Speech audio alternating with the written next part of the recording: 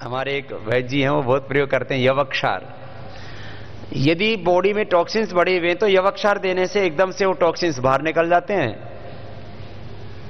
तो भी दूर हो जाता है पेन खैर, कुचला। कुचले की औषधि हम बनाते हैं विष तिंदुक वटी। अकेला कुचला तो देते नहीं विष तिंदुक वटी, एक तो दर्दों में लगभग लगभग दर्द दूर हो जाते हैं विष तिंदुक वटी से। विष तिंदुक वटी, अब इसके ऊपर आगे हम रिसर्च करेंगे कि विष तिंदुक वटी ईएसआर पर यूरिक एसिड पर आर फैक्टर पर एएसओ पर, जिन कारणों से दर्द होता है, उन कारणों में से किसके ऊपर सबसे ज़्यादा काम करता है? लेकिन इतना ज़रूर है कि कुचला जो है, एक तो कमज़ोरी को दूर करता है।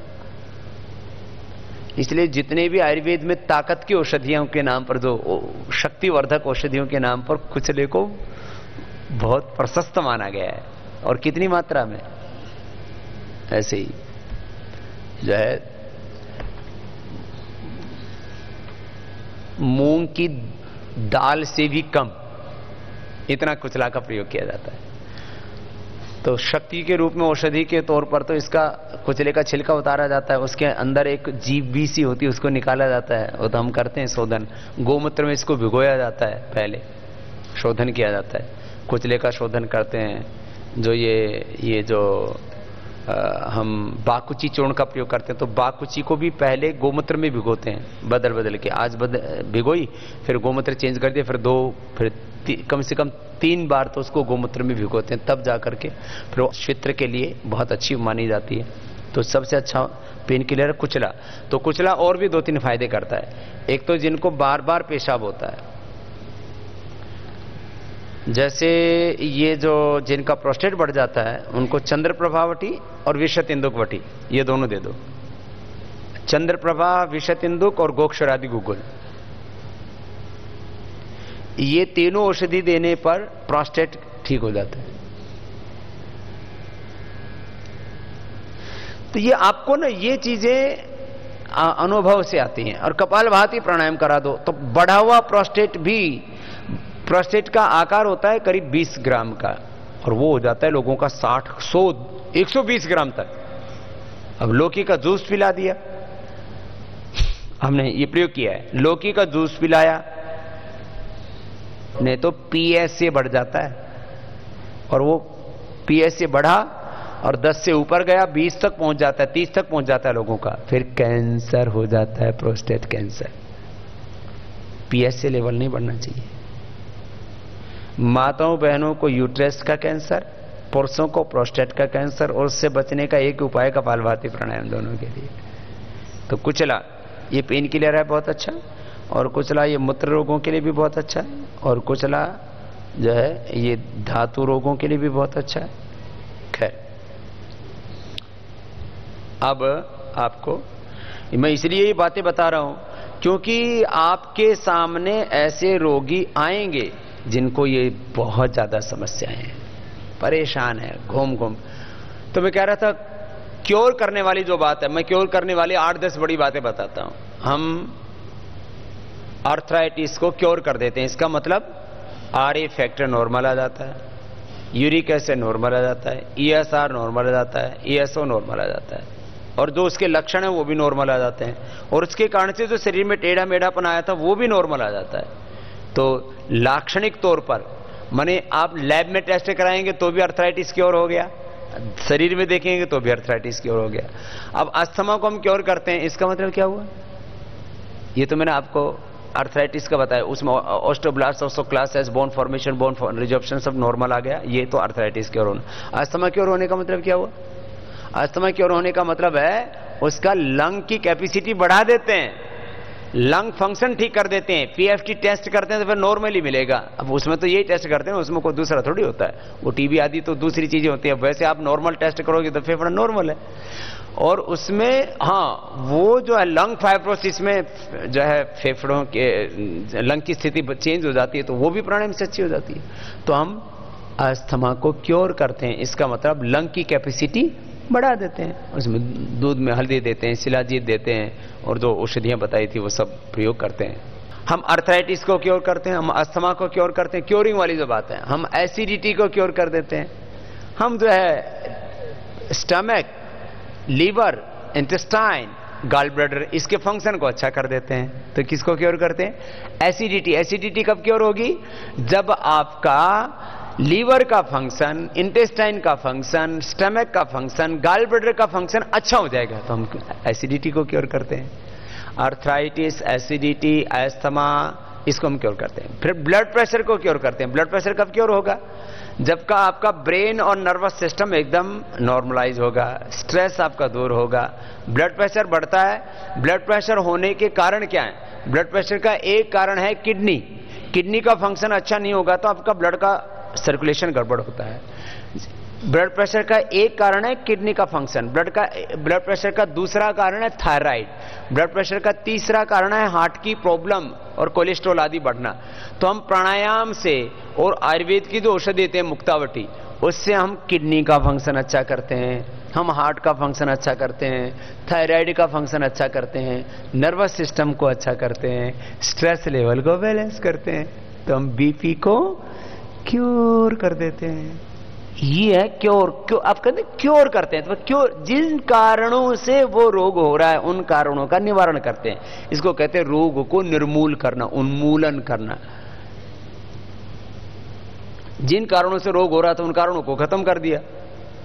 कारण कार्य सिद्धांत से तो सारी सृष्टि चल रही है। जो का, जब कारण होता है तो कार्य होगा ही होगा। जब बीज होता है तो उससे वृक्ष होने की पैदा होने की संभावना बनी रहेगी।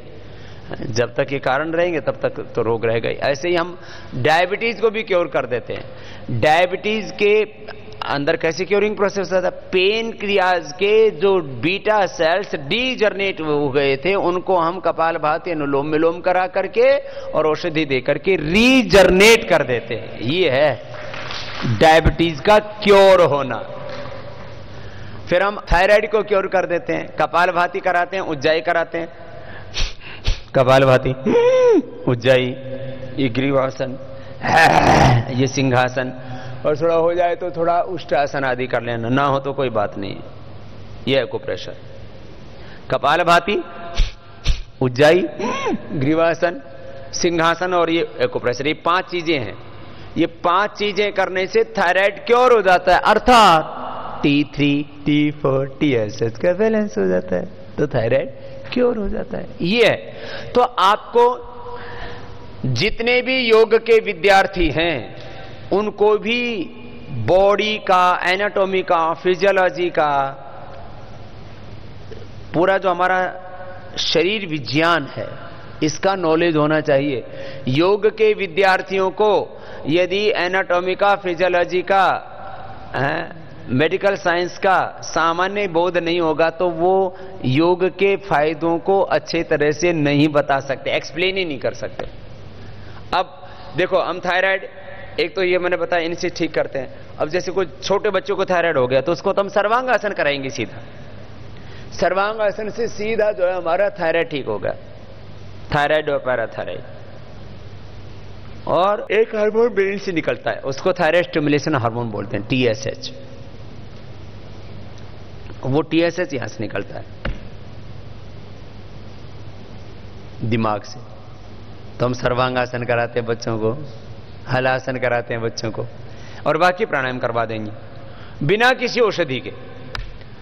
अच्छा आज तक आयुर्वेद में आप में तो ज़्यादातर तो नए वैद्य हैं। हमारे दो चार पुराने भी वैद्य हैं, दो तीस चालीस साल पुराने भी हैं। हाँ जी, पुराने वैद्य जी कभी थायराइड की दवाई लेने के लिए वैद्य के पास कोई रोगी आता था आज से तीस साल पहले बीस साल पहले? बीस साल पहले वैद्य जी के पास में कोई थायराइड की दवाई लेने जाता ही नहीं था। क्यों? वो कहता था इनके ये तो एलोपैथी में दवाई है एल्ट्रोक्सिन आदि लो और जब तक जी हो तब तक खाओ। वैद्य जी के पास कोई थायराइड को ठीक करने की दवाई होती ही नहीं थी। इसलिए वैद्य जी को भी थायराइड हो जाता तो, तो अल्ट्रोक्सिन ठोकता था। वैद्य को भी थायराइड की प्रॉब्लम हो जाए तो खुद वैद्य एलोपैथी की दवाई खाता था। देखो, अब मैं थोड़ा सा थोड़ा आपका माइंड सेट चेंज करता हूँ। पतंजलि योगपीठ ने क्या किया आयुर्वेद के क्षेत्र में? पतंजलि योगपीठ ने यह किया, पहले आयुर्वेद में खाली दवाई लेने आते थे, वैद्य जी, कब्ज हो गई, छोड़ दे दो। पक्की बात है। कब्ज के लिए एलोपैथी में नहीं जाते थे। वैद्य जी, सर्दी जुकाम हो गया। सर्दी जुकाम हो जाए तो त्रिकोटा चूर्ण दे देता था कब्ज हो जाए तो वैद्य जी त्रिफला चूर्ण दे देता था। सामान्य बुखार हो जाए तो, तो अल्ट्रोक्सिन और पैरासीटामोल ही लेता था। वो हर आदमी को ये जैसे त्रिफला त्रिकुटा आदि दो तीन औषधियाँ आयुर्वेद की सब लोगों को पता है ऐसे पैरासीटामोल क्रोसिन आदि हर आदमी को पता है। बुखार हो जाए तो वैद्य के पास जाते ही नहीं थे। पुराना बुखार हो जाए जब किसी दवा से टूटे नहीं और बुखार लंबा चल जाए तो वैद्य के पास जाता था। किसी को बहुत ज़्यादा अस्थमा हो जाए तो वैद्य जी के पास जाता था। बहुत ज़्यादा जोड़ों में दर्द हो तो या बहुत ज़्यादा लीवर खराब हो गया हो, पेट बहुत ज़्यादा खराब हो गया हो, ऐसे आठ दस बीमारियों के लिए वैद्य जी के पास जाते थे। तो किस बीमारी के शुगर के लिए वैद्य जी के पास न के बराबर जाते थे। वही एलोपैथी के इंसुलिन, एलोपैथी की दवाइयाँ। क्यों? वो तुरंत कंट्रोल होता ही नहीं था। कि पहले ही दिन से शुगर कंट्रोल हो जाए, वैद्य जी के पास कोई दवाई नहीं थी। पहले ही दिन से ब्लड प्रेशर कंट्रोल हो जाए, ऐसे वैद्य के पास कोई दवाई नहीं थी तो शुगर का पेशेंट ब्लड प्रेशर का पेशेंट वैद्य के पास नहीं जाता था। हार्ट का जब एडवांस स्टेज हो तो वैद्य के पास जाता ही तो बोले वैद्य के पास जब तक जाएँगे, हो सकता है तब तक तो अपना राम नाम सती हो जाए। वैद्य के पास गए, वैद्य ने दवाई दी, और उसके बाद पता नहीं आगे क्या होगा, इसका भाई कोई भविष्य तो है ही नहीं इसमें। दिखता तो है नहीं। और और डॉक्टर के पास जाए तो तुरंत लेटा करके एंजियोग्राफी करा करके और बोलता था, या तो एंजियोप्लास्टी कराओ ना बाईपास कराओ ना तो घर तक भी जाओगे तो कोई भरोसा नहीं है। कभी भी हार्ट अटैक हो सकता है। तो इतना डरा देते, इतना डरा देते हैं, आदमी टेबल से उठता ही नहीं। उसके वहीं प्राण से निकलने लगते हैं।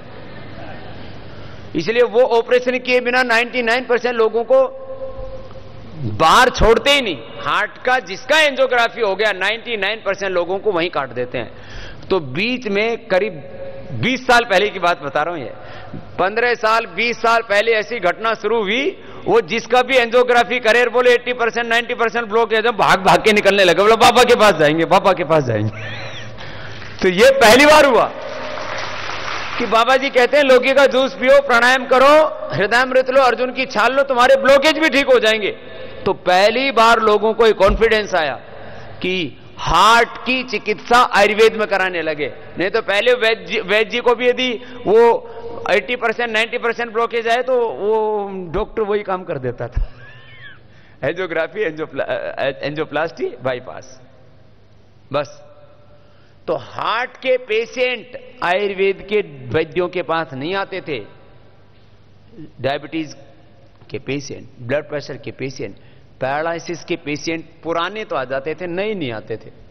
जब एलोपैथी में धक्के धुक्के खा करके जब ठीक नहीं होते थे, तब वैद्य के पास जाते थे। आज पहले जैसे ही उसको पैरालिसिस होता है, वो एलोपैथिक में नहीं जाता, उसको पता है वहाँ कोई इलाज ही नहीं है। और ये सच्ची बात है। एलोपैथी में पैरालिसिस का इलाज ही नहीं है। और मैं कहता हूँ, सात दिन में हम पैरालिसिस ठीक करते हैं, केवल सात दिन के अंदर। और कोई दवाई मत करो। कोई हमारी दवाई लेने की ज़रूरत ना मेधावटी लो न चंद्र प्रभावटी लो न त्रोदशांग गुग्गल लो न अश्वशिला। न एकांग वीर रस हम कहते हैं एकांग वीर रस। रस राज रस ये जो मैं बता रहा था ना आपको औषधियाँ प्रवाल मोती आदि के तो लाभ बता दिए थे। जो यो, योगेंद्र रस है वो हमारे मस्तिष्क और ब्रेन सिस्टम को दोनों को अच्छा करता है। और रसराज रस जो है वो नसगत नाड़ीगत जो बात होता है उसको ठीक करता है। तो केवल स्नायुगत वात हो या नाड़ीगत वात हो तो रसराज रस और वो मस्तिष्क पर भी उसका प्रभाव हो गया हो। नाड़ियों, नस नाड़ियों के अलावा, नाड़ीगत और स्नायुगत वात के अलावा, उसका असर यदि मस्तिष्क पर भी हो गया तो योगेंद्र रस तो योगेंद्र रस रसराज रस एकांग वीर रस ये सब औषधि हम देते हैं जो है किसमें? पैरासिस में। और अश्वशिला क्योंकि ब्लड प्रेशर भी किसी किसी का बढ़ा हुआ होता है, इसलिए ध्यान से देते हैं। मतलब जितना आवश्यक। अश्वशिला चंद्र प्रभावटी त्रयोदशांक गुगुल दे दिया।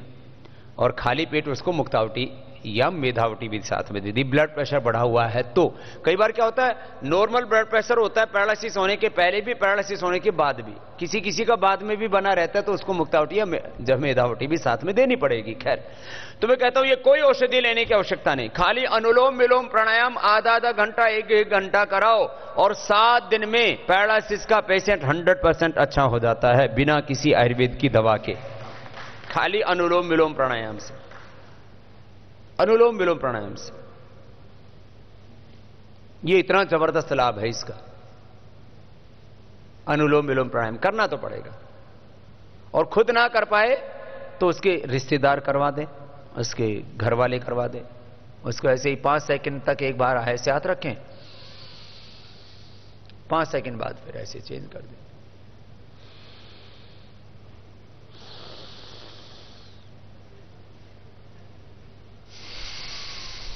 ऐसे करवाते रहे। नाक बंद कर दोगे तो लेना ही पड़ेगा सांस। जब ले ले तो इसे छुड़वा दो। पहले तीन सेकंड, बाद में धीरे धीरे पाँच सेकंड में हो जाता है। पैरालिसिस क्योर हो जाता है? यह स्वर विज्ञान, ईडा, पिंगला सुषुमणा का बहुत गहरा है। स्वर विज्ञान, इसके साथ जुड़ा हुआ नाड़ी विज्ञान, तंत्रिका विज्ञान, nervous system, autonomic system, voluntary system, autonomic system, और इसके साथ जुड़ा हुआ reproductive excretory skeleton circulatory system अनुलोम विलोम के साथ। अब ये क्या चक्र क्या है? Reproductive system excretory system digestive system skeleton system circulatory system respiratory system sympathetic sympathetic hypothalamus autonomic system ये जुड़ा हुआ है सारा किससे? अनुलोम विलोम से। चक्र विज्ञान पूरा। अष्टाचक्र नवद्वारा देवानाम पूरे जो अष्टचक्र का जो एक प्रतीकात्मक जो चित्र भी दिया हुआ है ना, ये शक्ति है पूरी अंदर की। ऐसे आप ऑपरेशन करके ऑपरेशन थिएटर में देखोगे तो कोई आपको चक्कर चक्र दिखेगा नहीं। फिर चक्कर में पड़ जाओगे। ये शक्ति के केंद्र है और शक्ति हमेशा अदृश्य रहती है।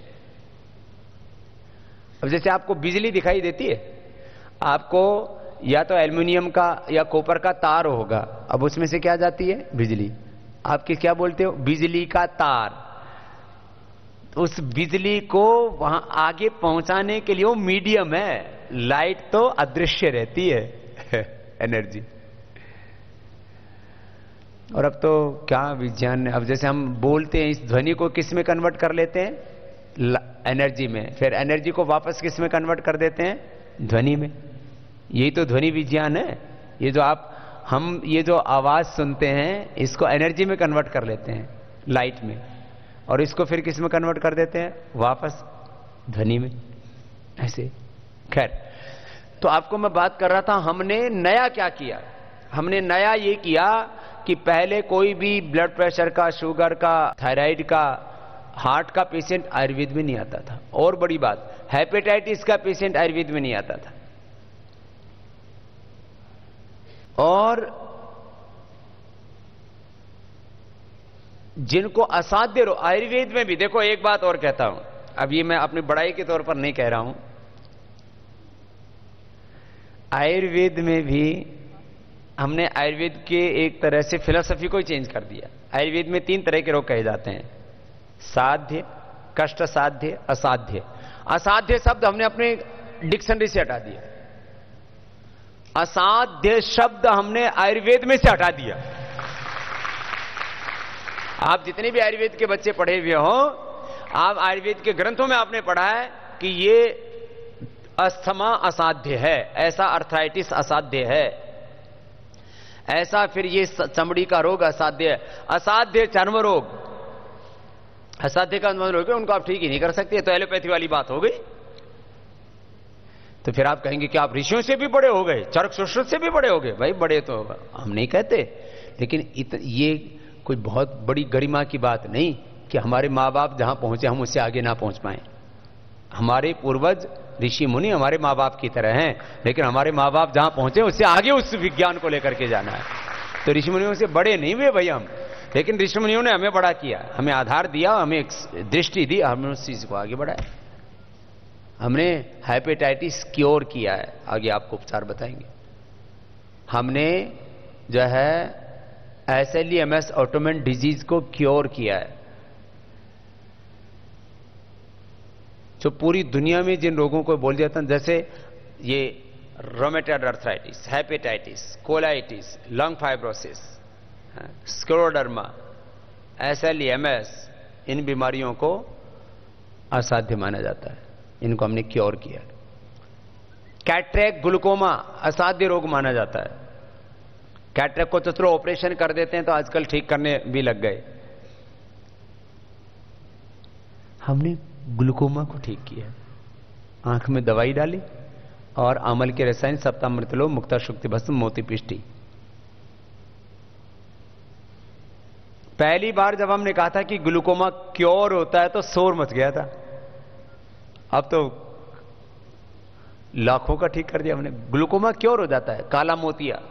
अब पहले वैद्य जी को भी काला मोतिया हो जाए तो वैद्य जी को ही नहीं पता था इलाज कैसे करना है। ये ऐसी सैकड़ों चीज़ें हैं जो हमने नई की। ऐसे नहीं हो गया आयुर्वेद की प्रतिष्ठा है अब आप लोगों को सब करा करा है, मिल गया है। तो आप लोगों को लग रहा है तो आयुर्वेद की तो ऐसी महिमा थी, भाई प्राचीन काल में थी, मध्य काल में भी थी, आधुनिक काल में लगभग समाप्त हो गई थी। और अभी तो ये एक चरण हुआ है हमारा। अब तो हम एक एक बीमारी के ऊपर क्लिनिकल कंट्रोल ट्रायल कर रहे हैं, एनिमल ट्रायल से लेकर के। ये टीबी से लेकर के और कैंसर। कैंसर के लिए तो आयुर्वेद में कोई आता ही नहीं था। पहली बार हमने बड़ा प्रयोग किया कैंसर के ऊपर। और उन रोगियों को ठीक किया। और हमारे पास में भी शुरू में कौन आते थे? जो मरने को होते थे। बोले भाई मरना तो है तो बोलो, एक बार बाबा जी के भी दर्शन कर लो। बोले मरना होगा तो मर जाएँगे। और बोलो, वैसे भी हरिद्वार में तीर्थ में जाके मरेंगे। तो उनके भी घर वाले उनको ले आते थे। ऐसे हमने brain tumour, brain cancer, blood cancer, breast, uterus, ovary का कैंसर, ऐसे कैंसर के रोगियों को भी अच्छा किया और उनके पूरे रिकॉर्ड और रिपोर्ट हमारे पास है। ये बड़ी बात है। बाकी तो जो छोड़ो दो हुआ, सो हुआ। ऐसे किडनी के patient, kidney failure, liver failure, ये पेशेंट अच्छे किए। ये ऐसे नहीं हो गए काम। अब क्या कर रहे हैं? अब हम चूहों को कैंसर करेंगे। चूहों को हेपेटाइटिस करेंगे। चूहे खरगोश पालने के लिए हमने बहुत ज़बरदस्त यहाँ लैब बना दी। ये तो बीच में आपने देखा पतंजलि रिसर्च इंस्टीट्यूट, ये इसी के लिए बनाया है। अब ये कार्यक्रम इस साल, इसमें थोड़ा पाप भी लगेगा और पुण्य ज़्यादा लगेगा। पाप इसलिए लगेगा कि जानवरों को कष्ट देंगे हम। अब ज़्यादा जानवरों को तो दे नहीं सकती, चूहे खरगोशों पर अभी तक अनुमति है। तो चूहों को कैंसर करेंगे, चूहों को हेपेटाइटिस करेंगे और हेपेटाइटिस का जो हमने उपचार ढूंढा है, प्राणायाम से तो ठीक होते ही ये चीज़ें। कपाल भाती करो, और जो है सर्कल क्वाथ लो शोनाक इसमें आएगा आगे अभी, जो है, हेपेटाइटिस। हेपेटाइटिस करेंगे हम चूहों को। हेपेटाइटिस और इनको कैंसर करेंगे चूहों को। इनको इनको, इनका कोलेस्ट्रॉल बढ़ाएँगे, इनको हार्ट अटैक भी करेंगे इनको। चूहे खरगोशों को। इनको हार्ट की बीमारी करेंगे। इनका ब्लड प्रेशर बढ़ाएँगे चूहों का। चूहों को शुगर की बीमारी करेंगे। चूहों को हम थायराइड की बीमारी करेंगे। चूहों को अर्थराइटिस करेंगे। चूहों को कैंसर करेंगे हेपेटाइटिस करेंगे। चूहों को सोराइसिस करेंगे। खुजली करवाएँगे उनको। और ये सारी बीमारियाँ चूहों को करा के और फिर उनको आयुर्वेद की दवाइयाँ देकर के ठीक करेंगे। पहले चूहों को ठीक करेंगे, फिर उसकी डोज आदि ऊपर नीचे जो भी होगी, कुछ उसमें दवाइयाँ। अभी हो सकता है जितनी दवाइयाँ आपको हम बता रहे हैं, इसमें से कुछ बढ़ जाएँ, कुछ घट जाएँ। तो अभी एक दूसरा चरण चलेगा अभी और दो, चार, पाँच साल ये काम चलेगा। पाँच, दस सालों में देश ही नहीं, पूरी दुनिया आयुर्वेद की क्षण में आएगी इसको कहते हैं clinical control trial. Clinical control trial, animal trial से लेकर के ह्यूमन ट्रायल तक, इसको बोलते हैं एविडेंस बेस्ड मेडिसिन तो हम थोड़े दिनों में एविडेंस बेस्ड मेडिसिन के तौर पर भी आयुर्वेद को प्रतिष्ठापित कर देंगे। अब चलो, अब चूहों को मोटा करेंगे, फिर उनका वज़न घटाएँगे। चूहे बहुत अच्छे से खाते पत्ते, उनको अश्वगंधा के पत्ते खिलाएँगे। और जब वो चूहा दो किलो का और आधा किलो का रह जाएगा, तब हम कहेंगे, देखो, ये मामला फेट हो गया। सच्ची बात बता रहा हूँ आपको। अभी अश्वगंधा के पत्ते सुबह, दोपहर, शाम तीन तीन पत्ते खिला दो। सुबह तीन पत्ते, दोपहर को तीन पत्ते, शाम को तीन पत्ते। और उसको अनाज कोई मत खिलाओ। क्या खिलाओ? शाक, सब्ज़ियाँ, फल, खाने की कोई चीज़ें कम है क्या? लोगों ने